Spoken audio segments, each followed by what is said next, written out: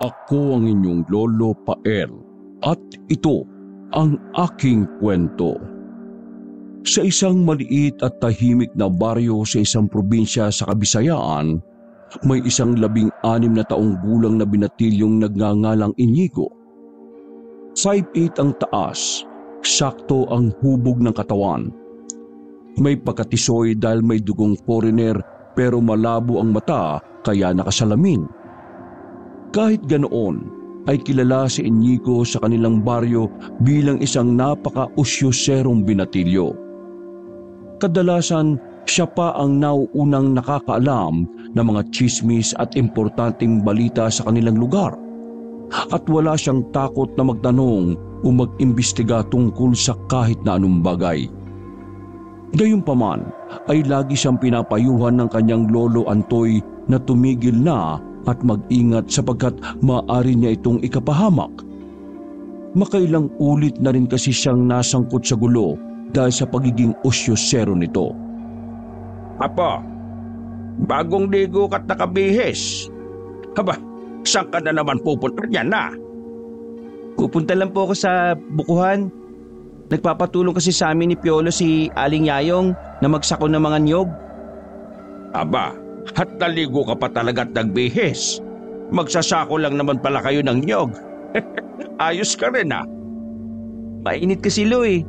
Maliligo na lang ako ulit mamaya pagkatapos magpahinga. Eh sigurado kang magbubuhat at magsasako ka lang ng mga nyog doon. Baka kung saan-saan na naman kayo mapadpad niyan na. Hindi po lo, promise. Uwi rin ako kagad kapag tapos. Sus, narinig ko na yan po eh. Napangiti na lang ulit ang binatilyo bago lumabas ng munti nilang bahay. Tatlong buwang gulang pa lang si Inigo nang iwan siya ng inang si Marta sa pangangalaga ng tatay nitong si Antoy. Bumalik kasi ito sa Manila para hanapin ang asawang foreigner pero hanggang ngayon ay hindi pa nagpakita pa ang kanyang ina. Kaya naman si Lolo Antoy na ang kinalakihang magulang ni Inigo. Wala na siyang ibang tinuturing na pamilya maliban sa matandang ginoo, pati na rin ang mga kabaryong naaliw sa kanyang pagiging osyosero. Katulad ni Aling Yayong nagiliw na giliw sa kanya, lalo na kapag nakapagbibigay siya ng impormasyong nagagamit ng ginang sa pakikipagchismisan. Makilipas ang ilang minuto ay narating na nga ni Inigo ang bukuhan kung saan ay sinalubong siya ng maskulado niyang matalik na kaibigang si Piolo, ang pamangkin ni Aling Yayong. Nag-apilan kaagad sila habang nakangiti sa isa't isa at pagkatapos ay nagsanggaan pa sila ng dibdib. Ganoon kasi madalas ang kanilang batian kapag nagkikita. Wala pa si Chang, kaya magpahinga muna tayo saglit. Langya, naligo ka pa Oo tol, mainit kasi. Alam mo naman ang balat ko. Balat foreigner. Ay, siya nga pala. May buko ron oh. Kumuha ka muna. Kanina pa ako inom ng inom eh. Nabusog na nga lang ako eh. Maya-maya na, kapag nagsimula na tayo. Marami ba tayong isasako? Yun oh. Pagkaturo ng maskuladong binata sa umpok ng mga nyog na nakabalandra lang sa gilid ng maliit na storage ng mga buko, ay tila nanlaki ang mga mata ni Inigo. Putya, dalawa lang tayo magsasako ng mga yan. Baka abutin tayo na kinabukasan yan. Nagsama pa si Chang Yayong ng ibang tao, kaya nga siya nahuli. Malamang kasama yung best friend mo. Ano? Best friend? Si Elvis. Lang yang yan. Ikaw na lang. I-best friend mo yung kolokoy at puraot na yun. Makainom na nga lang ng buko. Natawa na lang ang maskuladong binata habang tinatapik ang kaibigan na tila napipikon. Pagkalaon ay lumapit si Inigo sa water jug habang nag-aayos ng kanyang salamin at kinuha ang disposable na baso na nasa ibabaw noon saka nagsali ng fresh buko juice. Eksaktong pagkatapos niyang uminom ay saka dumating ang malit na truck na siyang paglalagyan nila ng mga nyok na isasako. Mula roon ay bumaba si Aling Yayong, Elvis at ang driver na si Mang Mat na tutulong din sa pagsasako. Pasensya na kayo kung medyo nahuli kami ha. Ito kasing si Elvis eh. Hinagila pa namin. Okay lang po, Chang. Halos kadarating-dating lang din naman po ni Inigo eh. Akala ko hindi ka pupunta, Inigo. Mabutit nandito ka para mabilis ang trabaho. Dapat kasi bago magdilim, tapos na tayo rito dahil ibabiyahe pa namin to doon sa pamilihan. Siyempre po, hindi ko naman po kayo mahihindihan, Aling Yoyang eh. Matapos ang maiksing pag-uusap, ay nagsimula na nga kaagad sila sa pagtatrabaho. Masaya lang na nagsako ang magkaibigang habang si Elvis naman ay napapansin nilang nakaungot sa kanila. Napapanguso pa to habang pinagmamasdan silang nagtatawanan. Noon ay matalik na magkaibigan sina Inigo at Elvis subalit nagkaroon ng hindi pagkakaunawaan dahil sa dalagitang nagngangalang Crisel.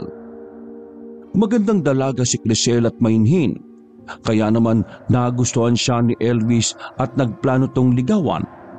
Subalit dahil torpe ang matangkad na binata kaya nagpatulong siya kay Inigo dahil matibay ang sikmura nito at malakas ang loob.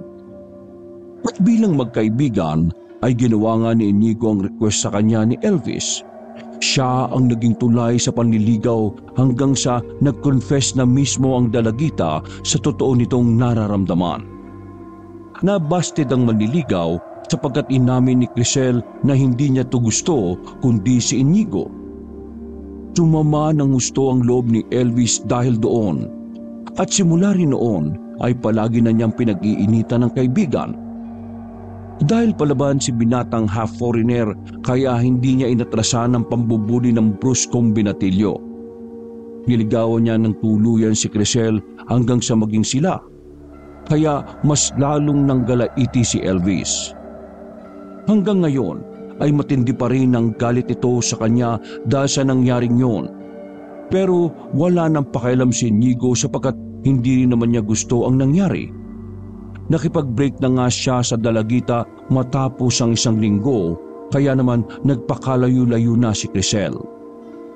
Tol, bakit di ka makipag-ayos kay Elvis? Di ba, close naman kayo noon? Mas close pa nga kayo kaysa sa atin eh. Kahit mag-best friend tayo. Bakit naman ako makikipag-ayos sa kanya? Siya ang ilang beses akong ginawa ng katarantaduan eh. Kundi lang ako pumalag, baka hindi tumigil yan eh. Akala niya porke malaking tao siya eh, walang papatol sa kanya. Pero siya ang makikipag-ayos, okay sa'yo. Oo naman, yun lang naman ang hinihintay ko eh. Kahit papano, may pinagsamahan pa rin naman kami niyan. Tara, magtrabaho na nga muna tayo para matapos na to kagad. Kasi naiirita ako sa patingin-tingin niyang Elvis na yan eh.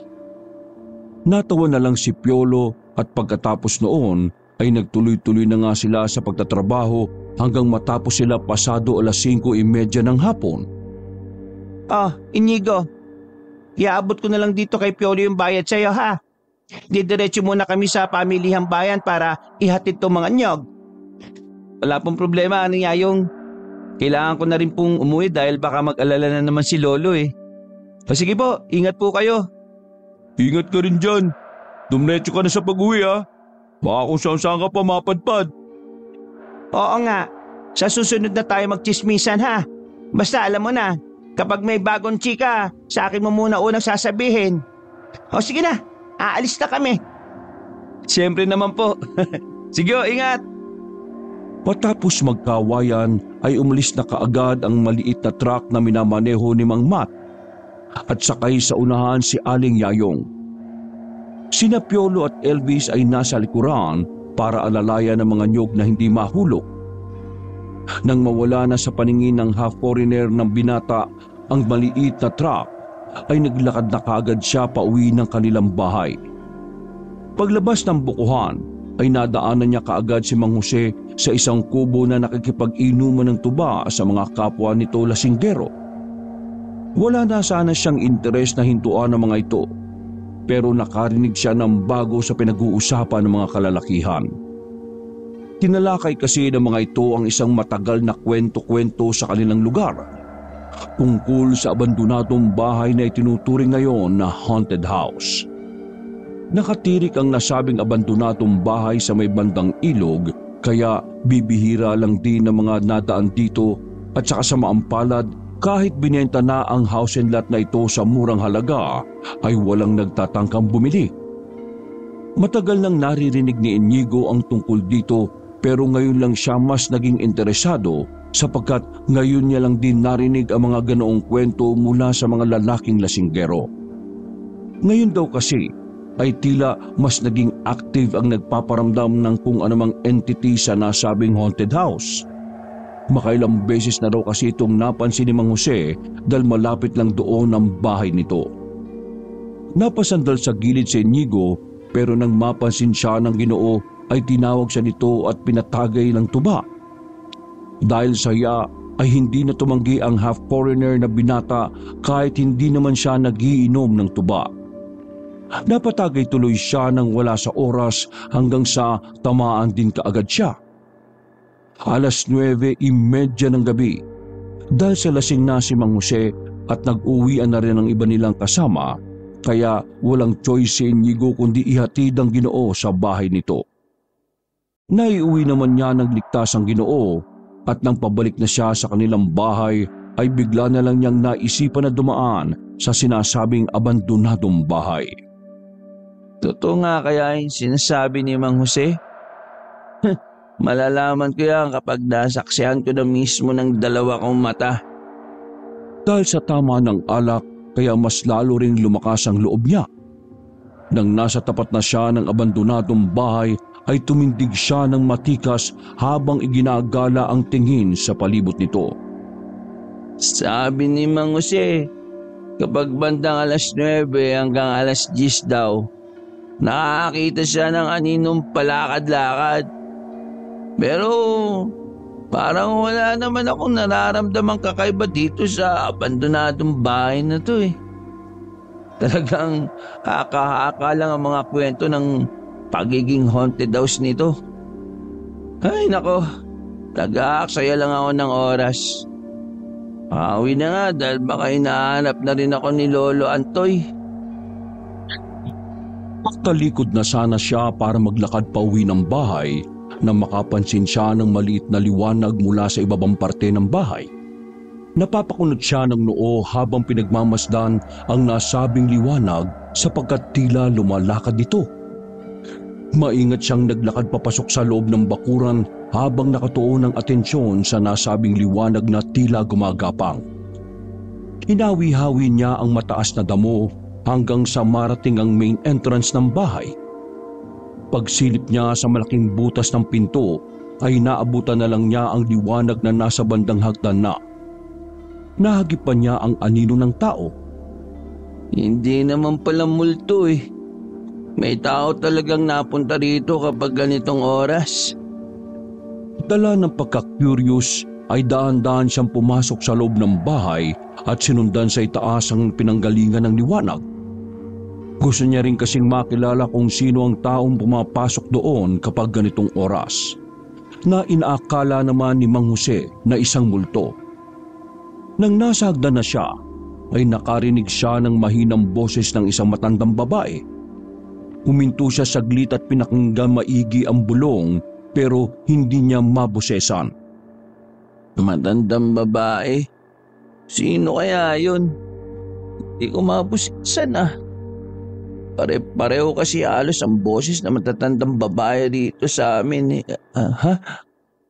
Bago pa niya matapos ang pagsasalita, ay nakita niyang tila gumalaw na naman ng liwanag kaya dali-dali pero maingat siyang naglakad pababa at nagtago sa isang gilid. Nanatili naman sa itaas ang kung sino mang matandang babae. Lumipat lang to ng silid kaya bumalik din si Inigo sa hagdanan at nagmasid-masid. Akyatin ko na kaya para makita ko na kung sino. Ha? Naudlot na naman siya sa pagsasalita matapos muling marinig ang pagbulong ng matandang babaeng hindi pa niya makilala. Para tong nananalangin at may kinakausap kaya umandar na naman ang pagkausyosero ng binatang half-foreigner. Hindi na siya nakatiis pa at inakyat na nga ng tuluyan ng ikalawang palapag. Nang nasa pintuan na siya ng silid na kinaroroonan ng matanda ay pasimple niya itong sinilip.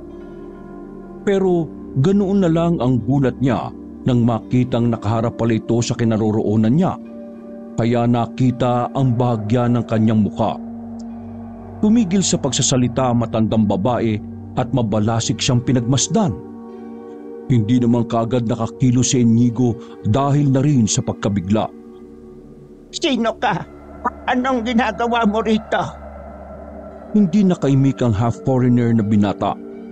Natoon kasi ang tingin niya sa itsura ng matandang babaeng kaharap. Namumuti ang buhok nitong panglalaki ang gupit. Maliit lang at nangungulubot ang mukha dahil sa katandaan. Anong ginagawa mo rito, iho?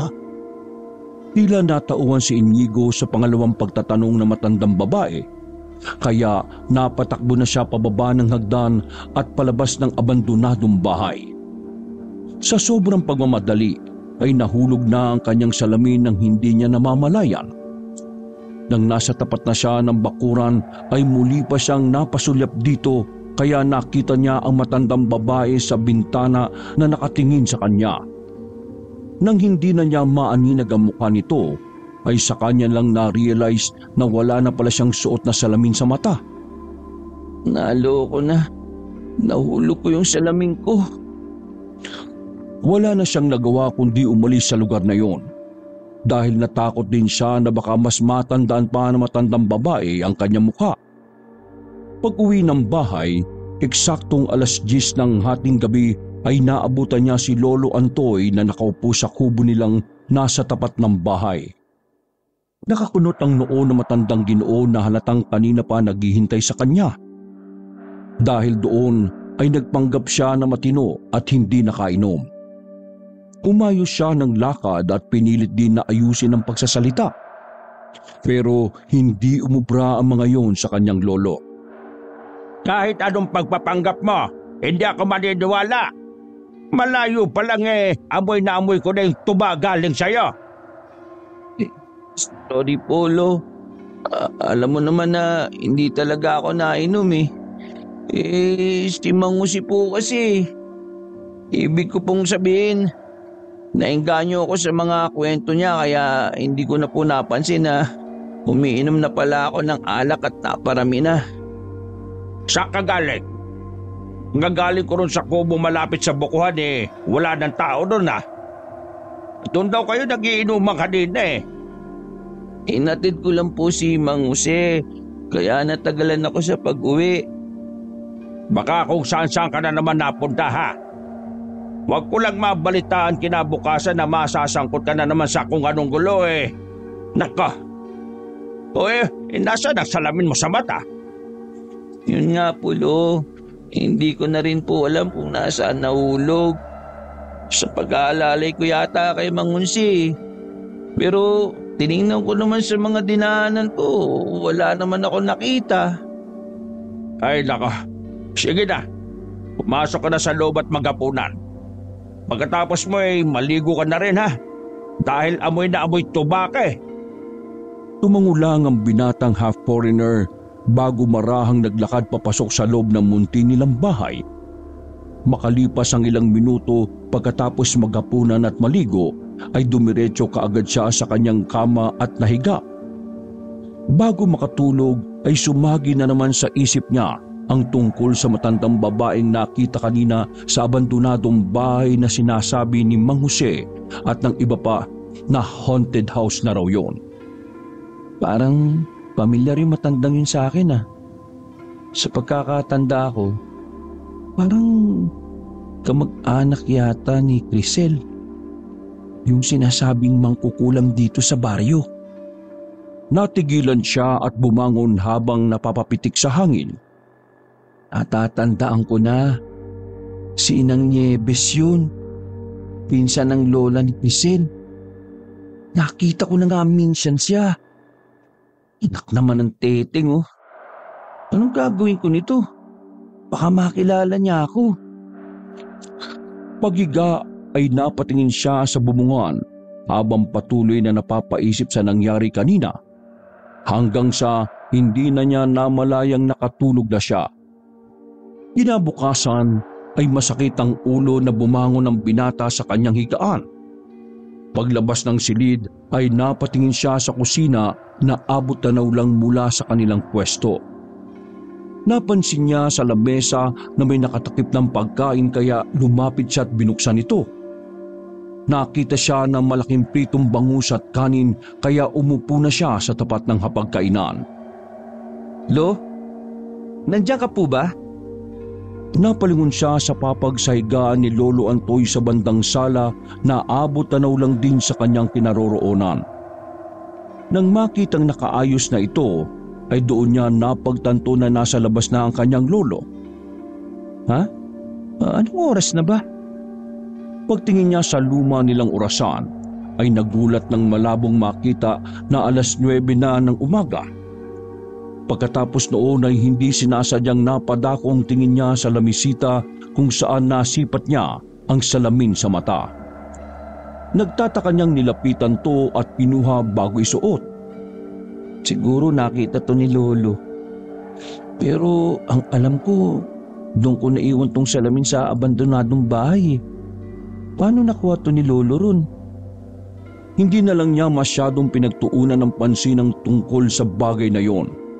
Dahil masakit pang masyado ang kanyang ulo at nagugutom na rin siya. Nag-agahan na muna siya at pagkatapos ay naligo na rin para mahimasmasan. Nang masiguro rin na malinis na ang buong bahay, ay lumabas na muna siya at tinungo ang bahay ng matalik na kaibigan para kunin ang sahod nila kahapon sa pagsasako ng mga nyog. Naabutan niya si Piolo na naglilinis ng bike nito. Kaya sumampa siya sa lumang gate ng bahay at nakatingin tinawag ang matalik na kaibigan. Tol, tamang linis ka dyan ah. Sipag-sipagan. Uy, nandiyan ka pala ka. Palaka ka dyan. Papasok na ako ah. Sige lang. At ikaw na muna magtuloy nito. Kukunin ko lang yung pera mo. Wait lang ha. Pagkahagis sa kanya ng pamunas ay kaagad pumwesto si Inigo sa tapat ng bisikleta at hinawakan ito. Sinimulan niyang buhusan ng mabulang parte bago punas-punasan. Ilang saglit lang ay lumabas na ulit ng bahay si Piolo dala ang pera na kaagad inabot sa kanya. Alam mo, paborito ka talaga ni Chang Yayong. Sa'yo 600 ang binigay, samantalang sa akin 500 lang. Ikaw yata ang pamangkin nun eh. Siyempre, iba talaga kapag nakakapag-provide ka ng mga mahalagang impormasyon na importante sa mga chismisan. Pusang gala na yan. Ay, siya nga pala. Wala ka bang gala ngayon? Wala naman. Hinihintay nga kita matapos dyan eh. Gala-gala na rin tayo. O kung gusto mo, doon tayo sa kubo naming magtambay. Doon ka na rin manangalian sa bahay tapos mga bandang hapon saka tayo maggala. O sige, tatapusin ko lang tong paglilinis ng bike ko. Dadaling ko na rin to ha. Mas maganda kasi kapag nakabike eh. Huwag na. Kita mong kakalinis lang yan eh. Tsaka sira nga yung bike ko, di ba? Hindi pa nakukuha ni Lolo rin sa pagawaan.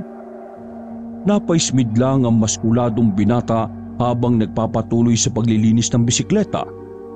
Pagkatapos noon ay nagbukas ng ibang usapan si Inigo matapos maalala ang nangyari kagabi. Siya nga pala tol. Kilala mo ba si Inang Nieves? Inong Nieves?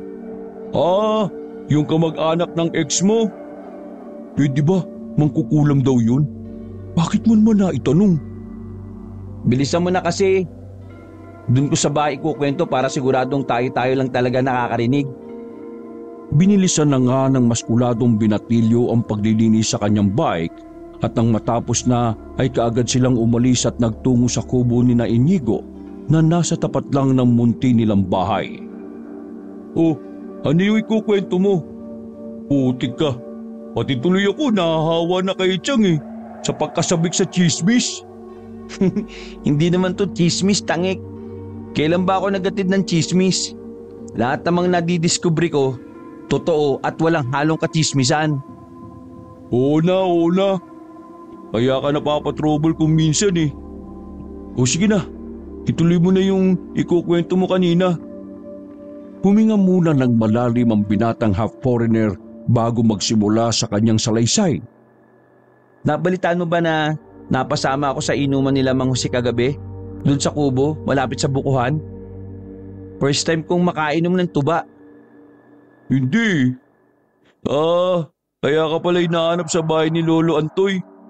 Pero sabi niya, wala na raw tao sa kubong pinag-iinuman niyo. Eh kasi nga, tapos na kami mag-inuman nun. Tapos, hinatid ko si Mang Jose sa bahay nila. Alam mo kung anong sumunod na nangyari pagkatapos nun? Oh, ano nangyari? Napadaan ako dun sa abandonadong bahay. Yung sinasabi nilang haunted house. Pinasok ko yun, tol. Eh, eh, teka, wait lang. Ikat mo muna yung kwento mo ha. May tanong ka kasi kanina nung nasa bahay tayo eh. Tinanong mo kung kakilala ko si Inang Nieves, di ba? So ngayon, anong connect niya sa kwento mo ngayon? Excited ka naman eh. Patubusin mo muna kasi ako. So, eto na nga. Di ba, pinasok ko yung sinasabi nilang haunted house. Hindi naman haunted house yun eh. Kasi, yung nakita kong ilaw na sinasabi ni Mang Jose na San Telmo, pandila lang pala yun. Tapos, ang may hawak, si Inang Nieves. Nanlaki ang mga mata ni Piolo dahil sa mga nalaman. Nagpatuloy naman si Inigo sa pagkukwento. Kitang-kita ko siya, tol. Parang may binubulong siya. Hindi ko alam kung orasyon yun o dasal. Basta, para siyang may kinakausap na hindi ko nakikita eh. Sira ulo ka tol. Delikado yung ginawa mo ah. Yan ka na naman eh, sa sobrang pagka-osyosero mo. Hindi na ordinaryo yung nangyayari pero pinilit mo pa rin ang sarili mo. Eh, alam ko naman yun. Pero lasing kasi ako kagabi. Kaya hindi ko rin nakontrol yung sarili ko. Na-curious kasi ako sa mga sinasabi ni Mang Jose. At least ngayon, napatunayan ko ng hindi naman totoong haunted house yun. Kaya wala tayong dapat ikatakot sa bahay na yun. Talagang yung pang inisip mo ah. Pasalamat ka, hindi ka nakita nun ni Inang Nieves. Alam mo bang marami nagsasabi na delikado ang taong yun? Kasi marami na siyang sinumpa. At ang pinaka-worst pa, pinahirapan sa kulam at pinatay. Kung nakita ka noon, nako, Inigo, humanda ka na. Bumagal at natigilan pa sa dulo si Piolo matapos siyang makita ang reaksyon ng mukha ng matalik na kaibigan habang nagsasalita siya. Nang ma-realize niya ang pakahulugan ng ekspresyon ng mukhang yon ay napatayo siya sa takot. Lungya ka tol! Nakita ka niya no?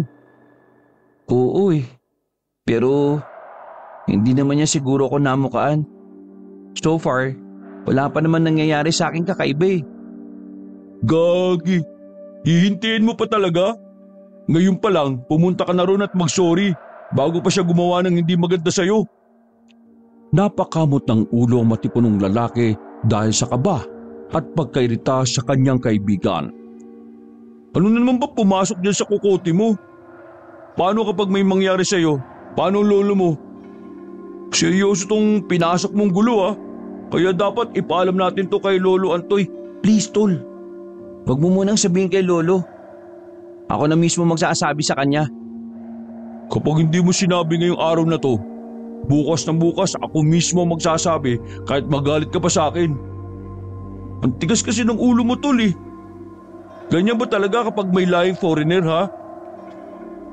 Hindi na nakasagot pa si Inigo sapagkat dumating na si Lolo Antoy na may dalang ulam na lulutuin.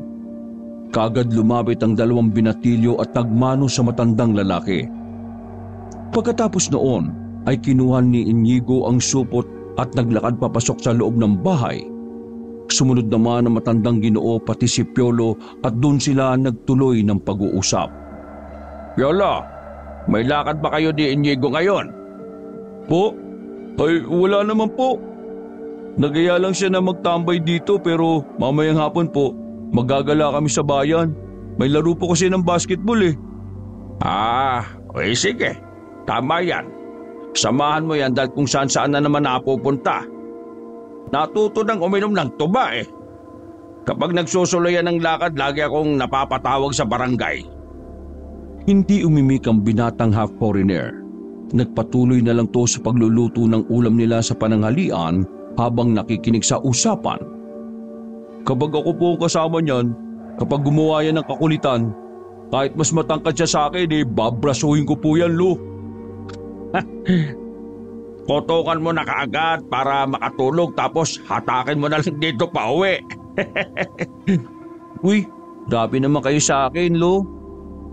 Eh mas malala pa sa koto nga nga abutin mo sa akin kapag naulit pang yung pag-inom-inom mo ng tuba. Hindi ko na nga po ulitin, Lo. Ay, siya nga po pala. Thank you, Lo, ah. Nahanap niyo tong salamin ko.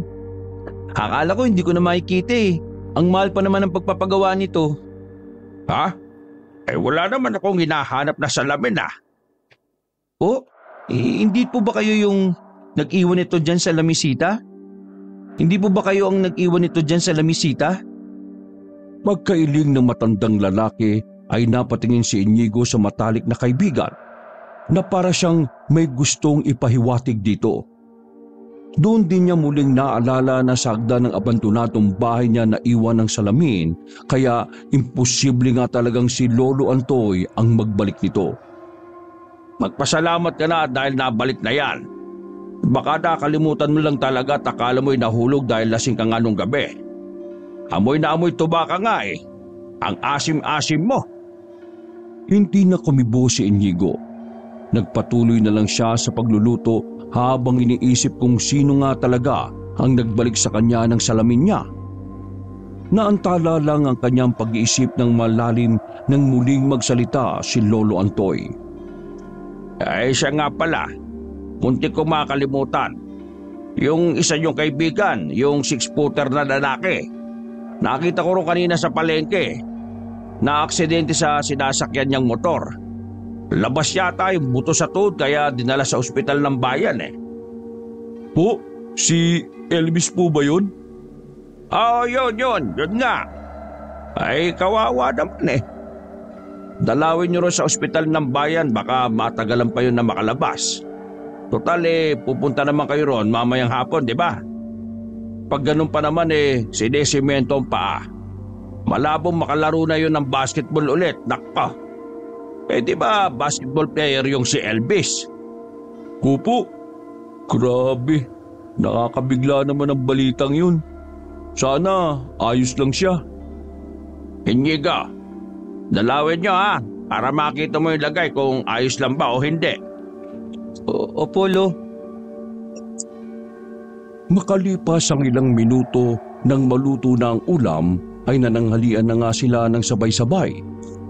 After lunch ay si Piolo na nga ang naghugas ng mga pinagkainan nila habang si Inigo naman ay nagpakain naman ng mga manok at baboy nila sa likod ng bahay. Nang matapos na sila sa gawain ay pansamantalang nagpahangin ang magkaibigan doon sa kubo na nasa tapat ng bahay habang pinag-uusapan ng tungkol sa nangyari kay Elvis. Sabi ng lolo mo tol, dalawin daw natin si Elvis ha. Alam pala ni Lolo Antoy na mag-best friend kayo dati. Oo. Napunta kasi yung dati dito sa bahay. Close nga sila ni Lolo dati. Kaya yung mga two weeks siguro na hindi na yun napunta dito. Anong nang tanong si Lolo? Nanawa na nga lang yun eh. O nalaman na siguro yung dahilan, hindi nga lang nagsasalita. O ano? Dadalawin ba natin?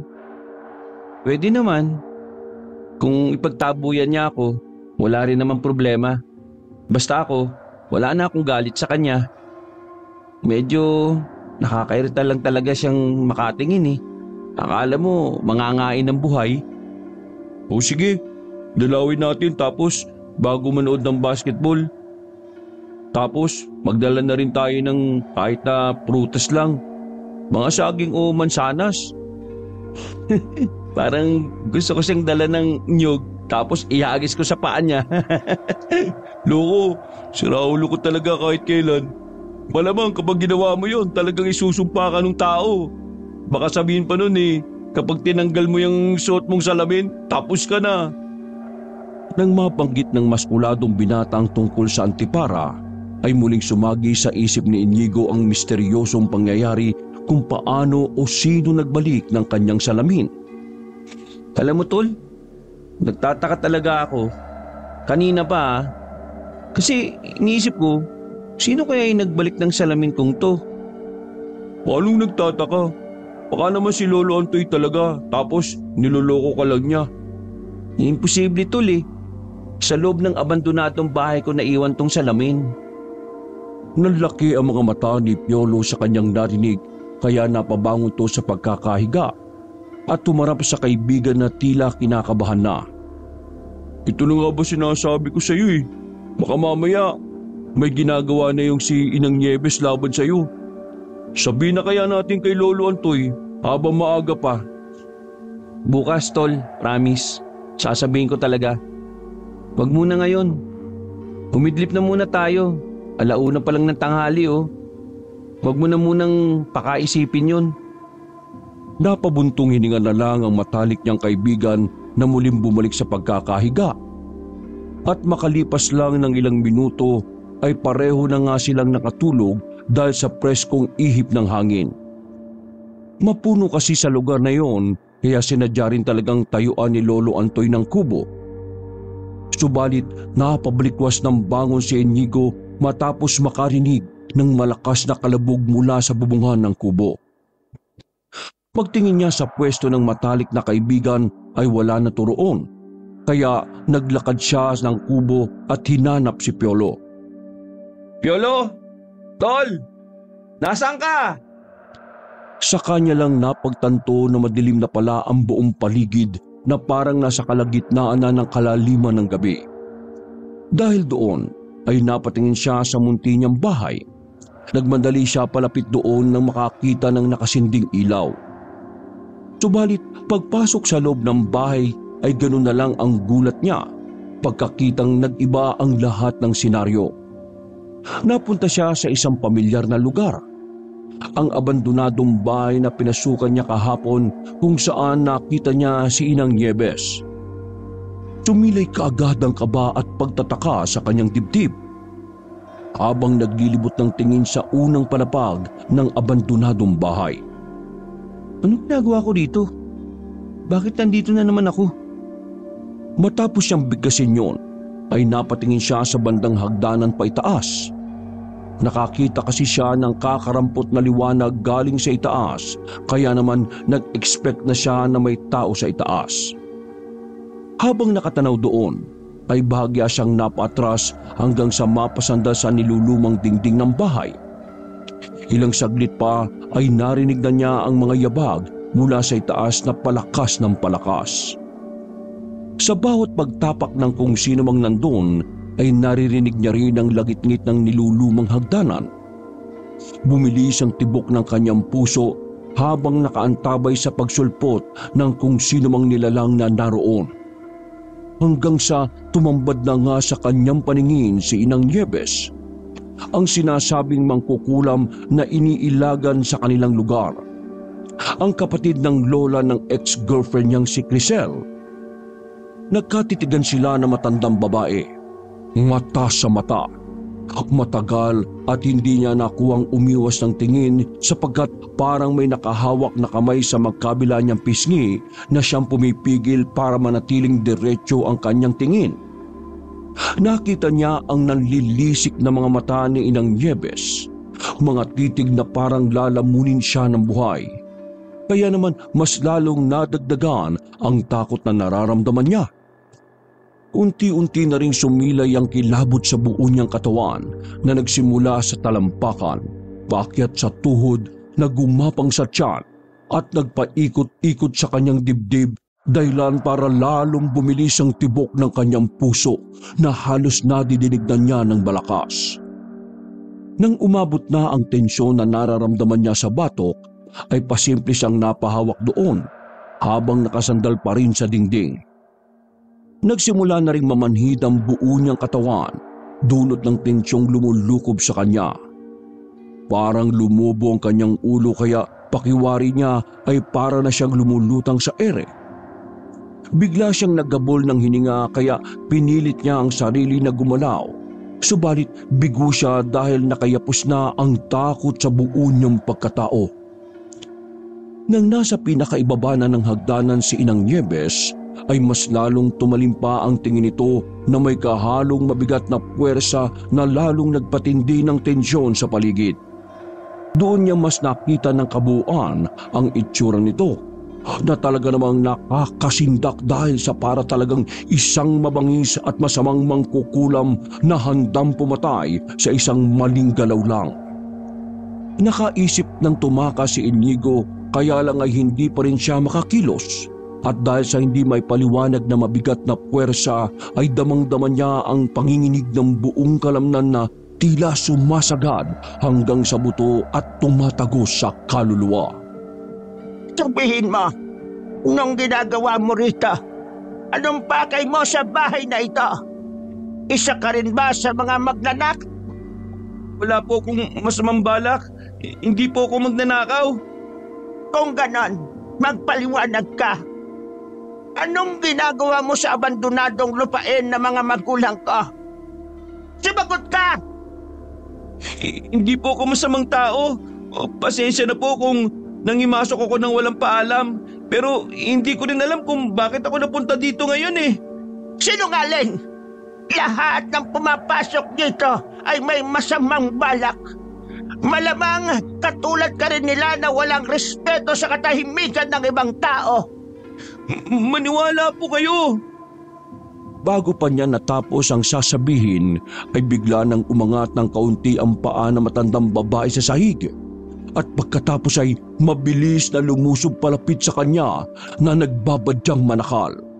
Pero bago pa tuluyang makalapit si Nang Nieves at sakalin siya, ay nakaramdam na ng malakas na sampal sa pisngi si Inigo. Pagmulat ng mga mata niya ay napabalikwas siya ng bangon at pagpaling ng mukha niya sa kanan ay nakita nga niya ang matalik na kaibigan na tila nagulat din. Napahawak siya sa pisngi habang hingal na hingal na nakatingin kay Piolo. Sinampal mo ba ako? Eh, umuungol ka kasi at sumisigaw eh. Naudlot na sa pagsasalita si Piolo sapagkat niyakap siya ng maigpit ng matalik na kaibigan habang humihingal-hingal pa rin. Pagkatanggal sa pagkakayakap ay ganun na lang ang pagka-relief ni Inigo. Thank you talaga, tol. Buti sinampal mo ako. Pero, aray ah, mukhang lakas nun ah. Ang sakit ng pangako eh. Eh, natakot kasi ako. Ngayon lang kita narinig ng ganun eh. Binabangungot ka yata. Eh, at least nakabawi na rin ako. May binubulong ka ba? Ha? O, wala. Ang sabi ko, mag-aalas 4 na. Ano ba kasi napanaginipan mo ha? Eh, wala naman. Siguro sa sobrang kabusugan ko lang to at pagod. Eh, si Lolo pala, napansin mo ba? Kanina pa umalis si Lolo Antoy. Mamamalengke raw siya para sa apunan. Nag-iwan din siya ng pambili ng prutas para pagdalaw daw natin kay Elvis Hospital, may dala tayo para sa kanya. Sige na, magbihis ka na. Hintay na lang kita rito sa kubo. Mabilis na lumipas ang oras. Mag-aalas 4.30 na ng hapon at bumiyahe na ang magkaibigan papuntang bayan. Pagbaba ng terminal, ay dumiretso muna sila sa palengke bumili ng saging, mansanas at orange. Pagkatapos ay nagtungo na nga ang dalawa sa ospital. Nagtanong sila sa reception desk para malaman kung nasaan banda si Elvis. Sure ka na bang gusto mong pumasok? Baka napipilitan ka lang ha dahil sa sinabi ng lolo mo. Hindi naman. Siguro, panahon na rin para mag-ayos kami. Wala namang dapat pag-awayan, di ba? Wala na rin naman si Crisel dito. Nice one! o tara na tol! Dahil may kaya sa buhay ang pamilya ni Elvis kaya nalagay siya sa private room. At pagpasok doon ni na Inigo at Piolo ay naabutan nila ang matangkad na binata na nakahiga habang nakataas ang simentadong paa. Nandun din si Presi, ang ate ni Elvis na siyang nagbabantay. Good afternoon, Ate Presi. Um, dinadalaw lang po namin si Elvis. Magandang hapon po. Kitang-kita ang ngiti sa labi ng babae habang si Elvis ay nakasimangot ang mukha. Para makapag-usap ang tatlong binatilyo ay lumabas muna ng silid si Presi at bumili ng pagkain para sa hapunan. Ilan nila mo naman ang katahimikan ng buong kwarto paglabas ni Presi. Walang gustong magsalita sa kanila kaya idinaan na lang ni Piolo sa peking pag-ubo ang lahat para magbukas ng usapan. Um, um, eh, pwedeng makiinom, Elvis? Kumuha ka lang dyan. Paupurin muna kayo. Salamat din pala sa pagdalaw ah. Habang kumukuha ng tubig si Piolo ay umupo na si Inigo sa malambot na bench bago naiilang na hinarap si Elvis. Um, kumusta na lagay mo? Eto, mukhang matatagalan bago makabalik sa paglalaro ng basketball. Isang taon daw ang kailangan para gumaling ng tuluyan eh. Para gumaling yung nabaling buto. Ha? I- isang taon? Ang tagal naman nun. Kaya nga eh, nakakainis. Matapos magkatitigan, ay nagkailangan na naman ng dalawa dahilan para nilamon na naman ng katahimikan ng buong paligid. Pero to the rescue na naman si Piolo na ginamit na naman ang peking pag-ubo sabay pasimpleng siko sa matalik na kaibigan. Um, Elvis? Ano yon, Inigo? Um, Sorry pala sa nangyari ah. Bakit ka nagsusorry? Wala ka naman kinalaman kung bakit ako nasemplang. um, Hindi naman tungkol sa aksidenteng nangyari sa iyo eh. Nagsusorry ako sa nakaraan. Alam mo na, tungkol kay Grisel. Dako, wala na yun sa akin oh. nagkatinginan bigla sina Inigo at Piolo matapos yung marinig. Sa maniwala ka man o sa hindi, patagal na ako nakamove on kay Crisel. Ha? Matagal ka nang nakamove on? Eh, bakit di mo ako pinapansin? At saka, lagi ka nakasibangot kapag nakikita mo si Inigo. Naiinis kasi ako kapag nakikita ko kayong close na close eh. Samantalang noon, tayo naman yun.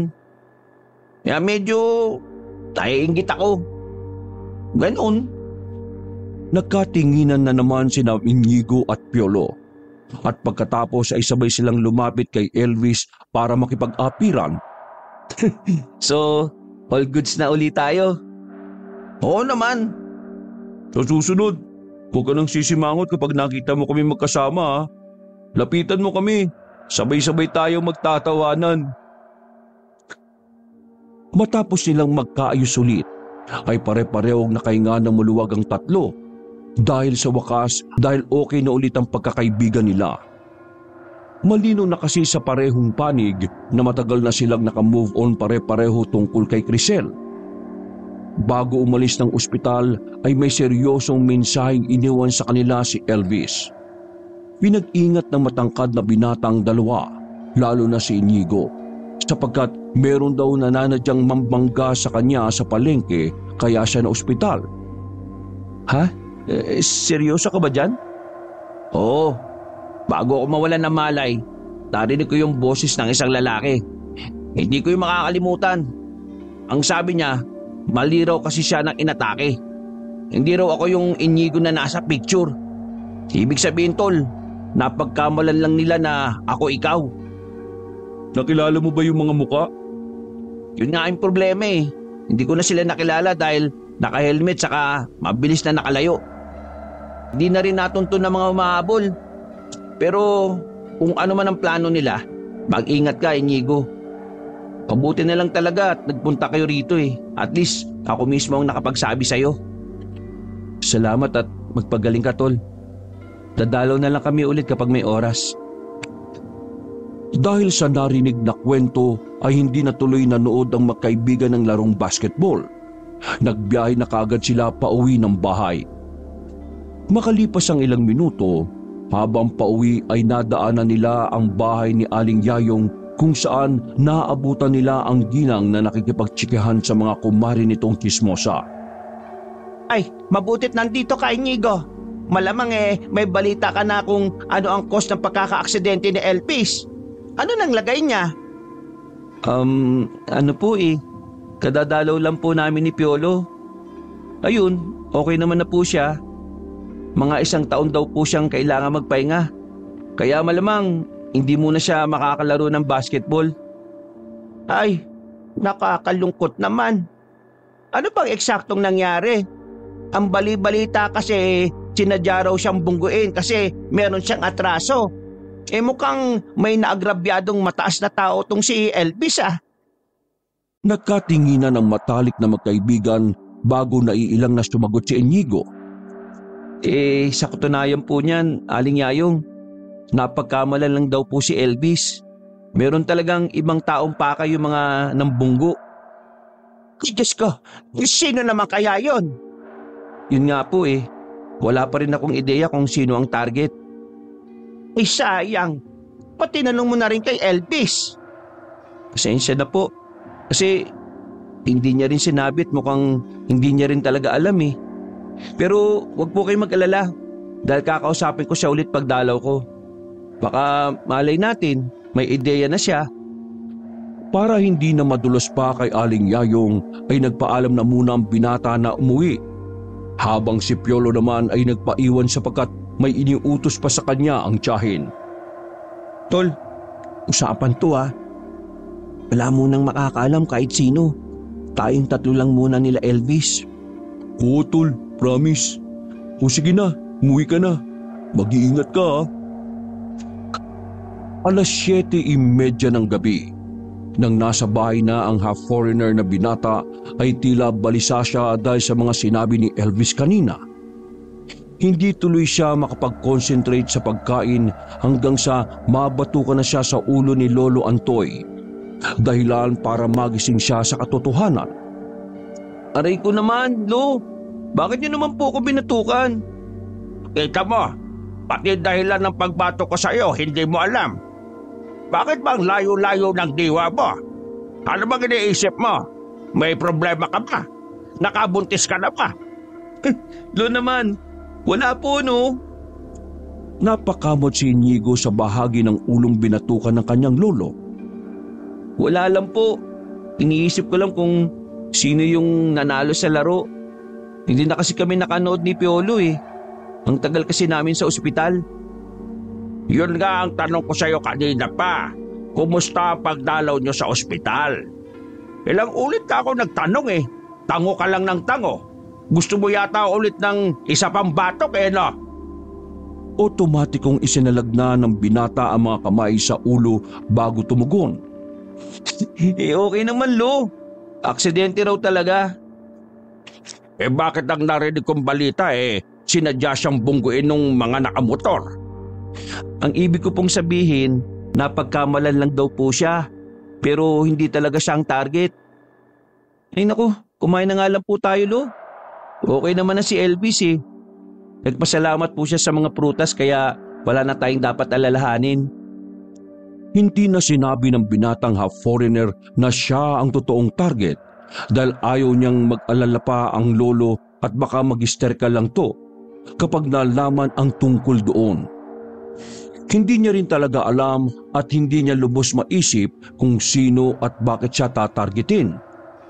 Wala naman matandaan si Inigo na naagrabyado niya ng gusto. At ang tanging alam niya lang talaga ay si Inang Nieves ang maaring gumawa sa kanya ng hindi maganda. Kaya kung ano-ano tuloy ang naglaro sa utak niya hanggang sa may mga napagtagni-tagni siyang senaryo. Hindi kaya parte yun ng plano ni Inang Nieves? Pero oh, anong sense? Bakit pa niya kailangan gumamit ng mga tao para saktan ako? Kung mangkukulam siya.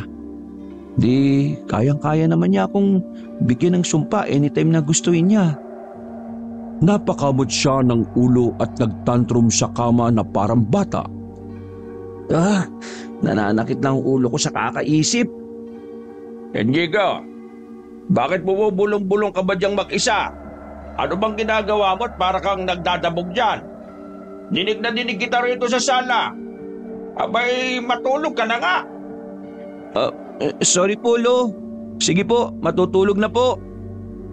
Tumagilid na siya ng higa at pumikit hanggang sa maya-maya lang ay nakatulog na siya.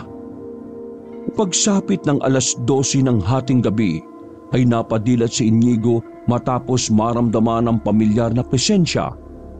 Bumangon kaagad siya at napasilip sa bintana ng kanilang kwarto.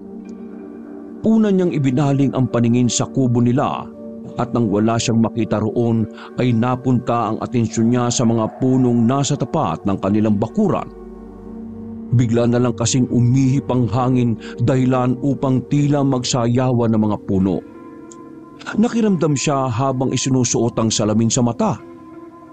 Nang dumampi sa kanyang balat ang malamig na samyo ng hangin, ay pasimple siyang napayakap sa sarili kasunod ng pag-aninag ng isang tao na unti-unting naglalakad palapit mula sa mga puno. Mas lalong bumigat ang kanyang pakiramdam kaya nangilabot naman siya pero hindi nagpadaig si Inigo. Dahil isa siyang usyoserong binatilyo kaya dahan-dahan siyang lumabas ng bahay. Pinagmasdan niya pa ang tatlong nahihimbing sa pagtulog bago maglakad papunta sa kubo. Mula roon ay pinagmasdan niya ang nilalang na naglalakad palabas ng mga puno at nagulat nga siya nang makita si Inang Yebes. Nakasuot ito ng itim na eleganteng bestida. May hawak na tungkod at matalim na nakatingin sa kanya. Kinurot-kurot niya muna ang sarili at nang mapatunayan niyang hindi pa naginip ang nangyayari, ay mas lalo siyang kinabahan. Gayunpaman ay nangibabaw pa rin ang kagustuhan niya na malaman kung ano ang tunay na pakay na matandang babae. Pa- paano niyo po nalaman kung saan ako nakatira? Bago ka pa ipinanganak, dito na ako nakatira. Kaya kilala ko ang lahat mga taong taga rito at kung saan sila nakatira. Kung ganun, kayo po ang nagsauli nitong eyeglass ko? Uh, bakit po? Ano pong pakay niyo sa akin? Ako ang dapat na magtanong niyan sa iyo. Hindi ba't makailang beses na kitang tinanong nung gabing yon, pati sa panaginip? Panaginip? Kung ganun o, uh, ala, totoong encounter yung napanaginipan ko? Anong ginagawa mo sa bahay ng mga magulang ko? Napalunok ng laway ang binata sapagkat naramdaman niyang mas lalong bumigat ang puwersa ng kaharap niyang matanda na handa siyang salakayin anumang oras. Ma- maniwala po kayo. Wala akong kahit na anong pakay. Gusto ko lang patunayan kay Mang Jose at sa ibang tao na hindi haunted house ang abandonadong house and lot na yun. Eh, kayo po pala ng may-ari. Ilang beses na raw kasi silang nakakakita ng liwanag tuwing gabi ron eh. Kaya iniisip nila San Telmo. O, Para patunayan sa kanila na hindi yun totoo. Pinasok ko yung abandonadong bahay. At yun na nga po, nakita tayo. Naulog tong salamin ko. Tapos, ito na po. Nandito na tayo sa sitwasyon na to. Walang katotohanan! Po, Sinamaan lang siya ng tingin ng matandang mangkukulam kaya nagpatuloy pa siya sa pagpapaliwanag. Kahit alam niyang anumang oras ay maaari na siyang mapahamak. kung iniisip niyo pong hindi ako nagsasabi ng totoo, sa tingin niyo, ano namang mapapala ko kung magsisinungaling ako? Walang katotohanan ng sinasabi mo na hindi pinamamahayan ang abandonado naming bahay. Ko? Kung ganun, totoo pong sinasabi nila Mang Jose at ng ibang tao? Lahat ng bahay ng mangkukulam ay pinamamahayan ng kung ano-anong klase ng elemento. Dahil puno ito ng enerhiyang nakakapaghikayat sa mga hindi pangkaraniwang nilalang. Oo, tama sila. Pinamamahayan ng abandonadong bahay namin pero kontrolado namin sila. At sinasalakay nila mga taong may masamang pakay at budhi. A- ano pong ibig niyong sabihin nun?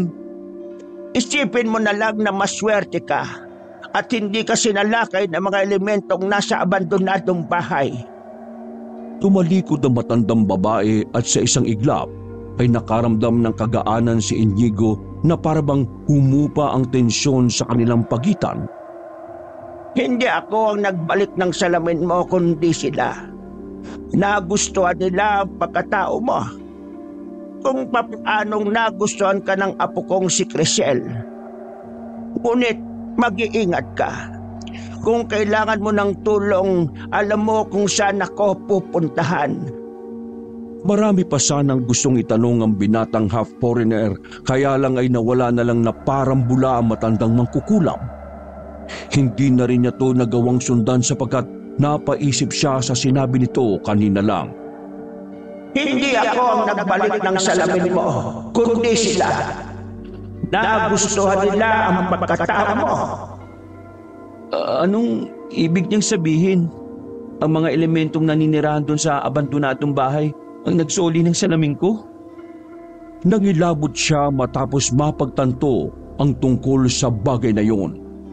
Napatingin tuloy siya sa paligid habang napapayakap sa sarili at muling inalala ang mga sinabi kanina ni Inang Yepes.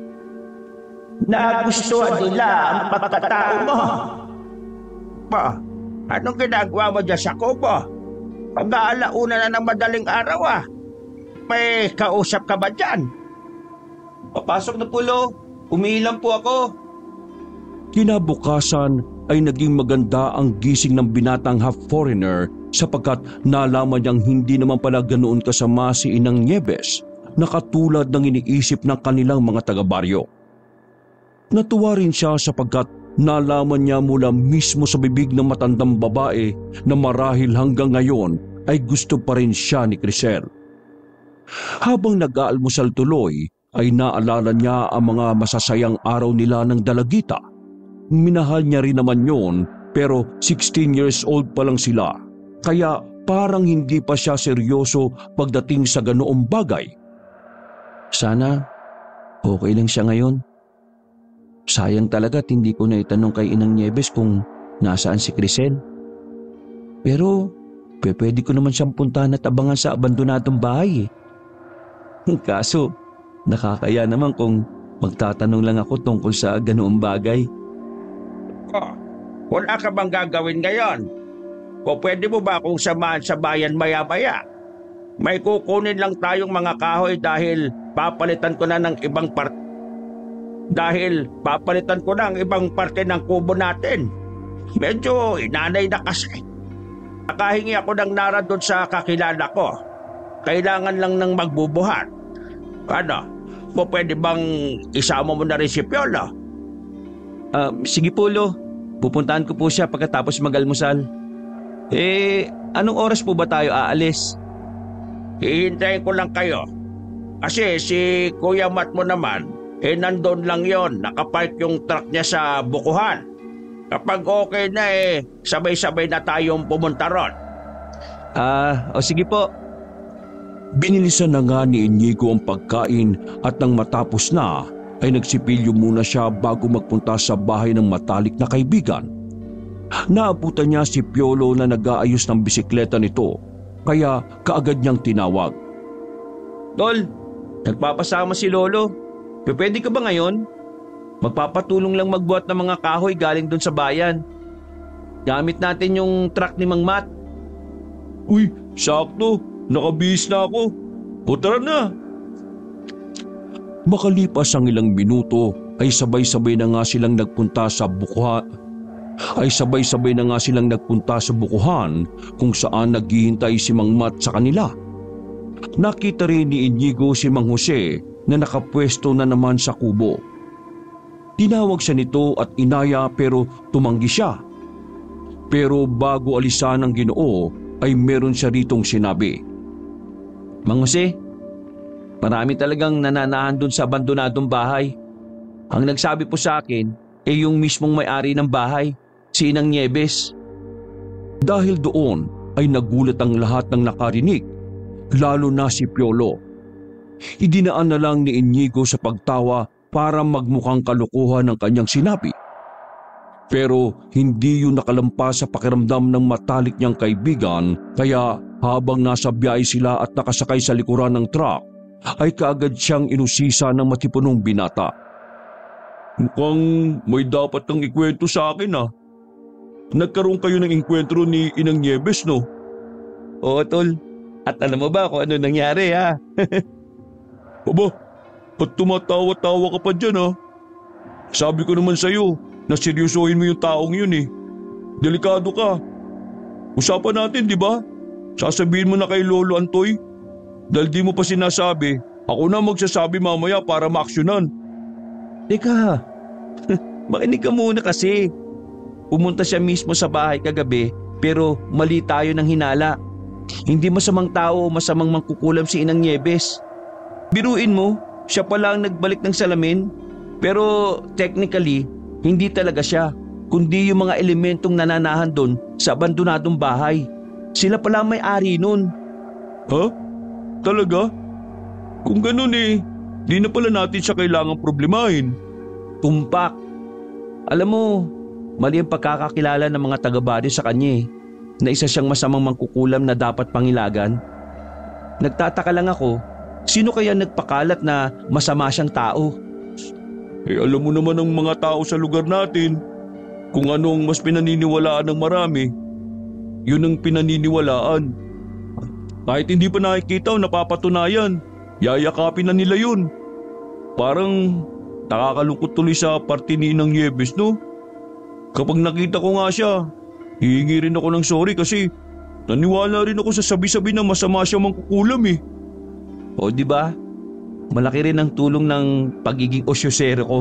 Kasi dahil sa pag-iimbestiga ko sa mga bagay-bagay, sa pagiging determinado kong malaman ng mga dapat malaman, eh lumabas ang totoo.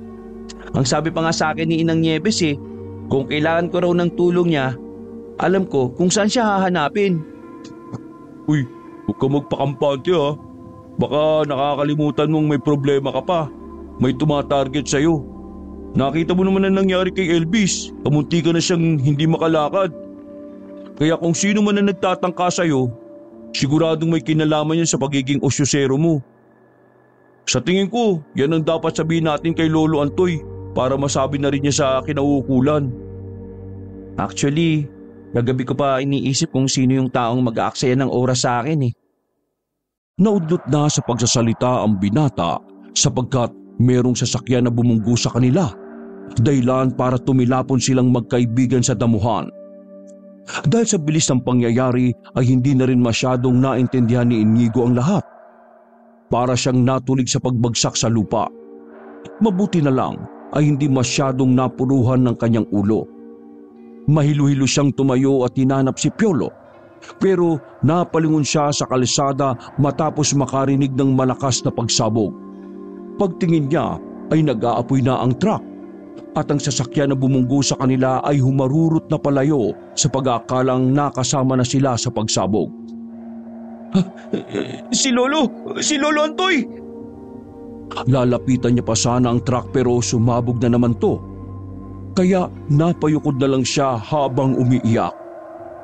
Maya-maya pa ay naramdaman niya ang pagkapit sa balikat niya ng matalik na kaibigan.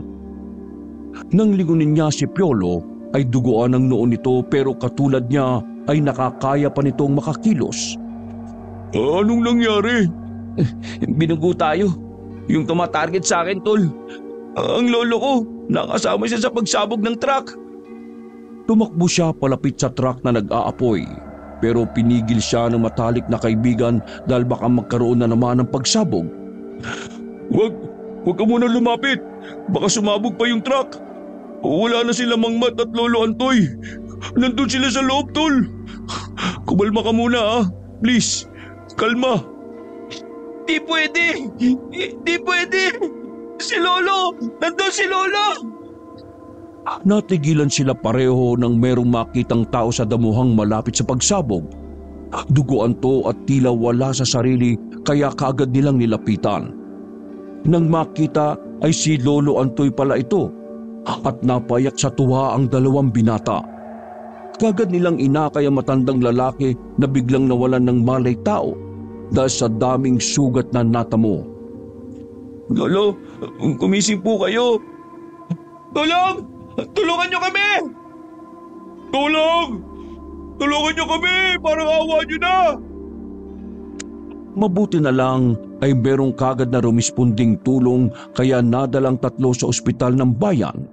Sa kasamaang palad ay hindi nakaligtas si Mang Mat na nasunog ang katawan matapos sumabog ang kanyang truck. Nastak kasi ang ginoo sa loob ng sasakyan. Ayos na sina Inigo at Piolo dahil kaunti lang ang galos nila sa katawan. Subalit kritikal naman ang kondisyon ni Lolo Antoy na matapos ang tatlong araw ay hindi pa rin nagigising.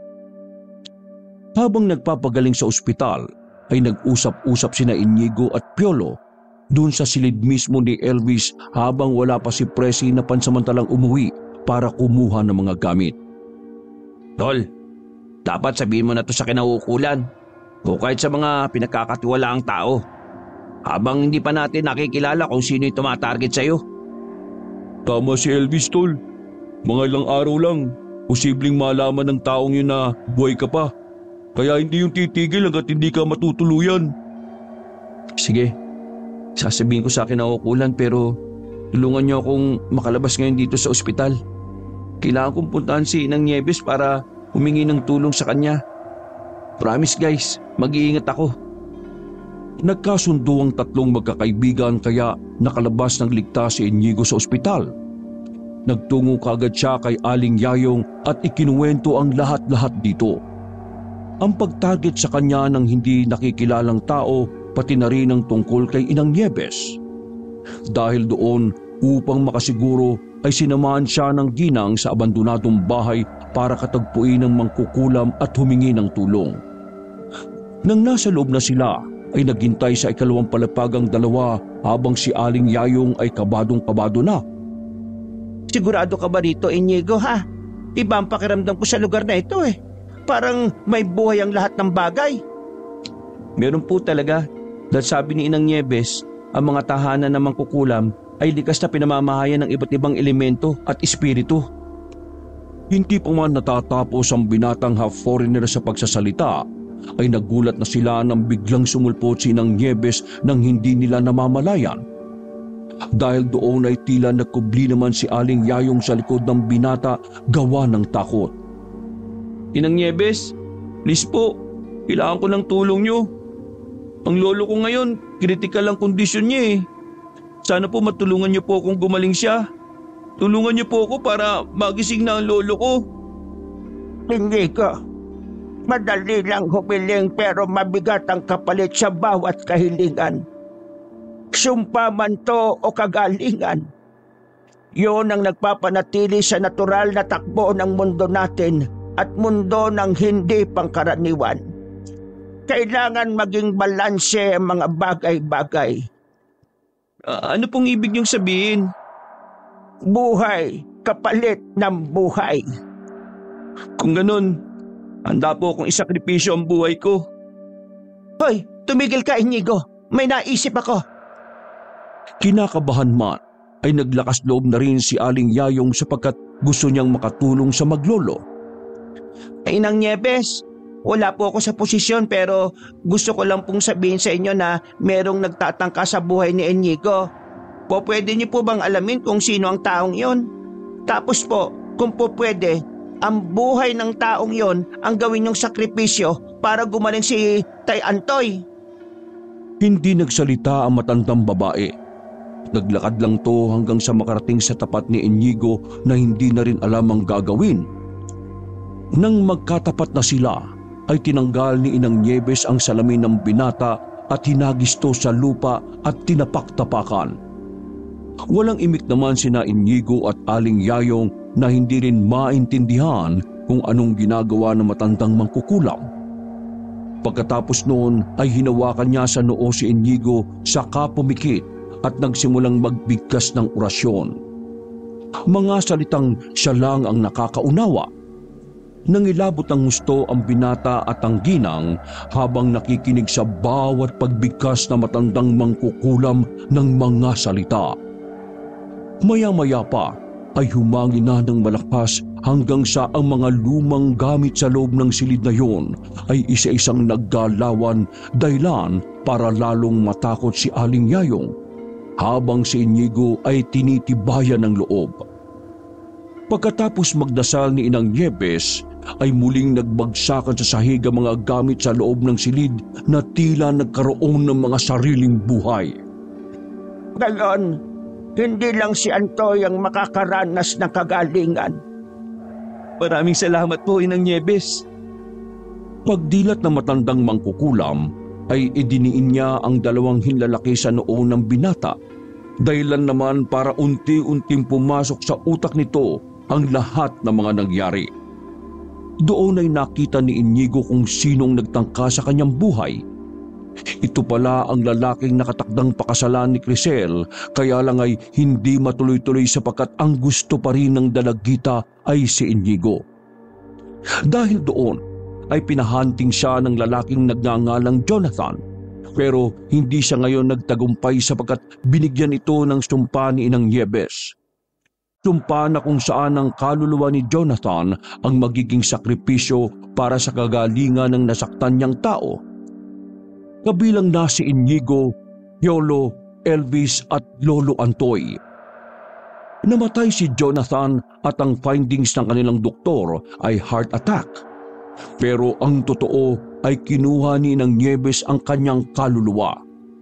Dahil sa nangyari, ay itinuring na himala ang mabilis na paggaling ng mga nasangkot sa aksidente.